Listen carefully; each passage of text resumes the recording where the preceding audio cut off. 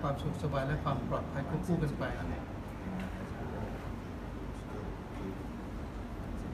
แล้วเรื่องนี้ท่านรัฐมนตรีให้ความสำคัญรัฐมนตรีต่างๆให้ความสำคัญ ซึ่งเราจะทำให้ดีที่สุด การเดินทางก็จะเปิดรับข้อมูลจากเขาว่าเขามีข้อห่วงใยของทางญี่ปุ่นอย่างไรบ้างเราก็จะนำมาปรับปรุงแก้ไข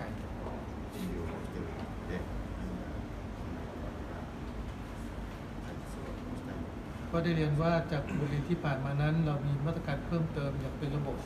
รักษาข้อมูลการเพื่อดูแลนักท่องเที่ยว และดูแลเรื่องความปลอดภัย ต้องทำให้ดีที่สุดยิ่งขึ้นไปครับ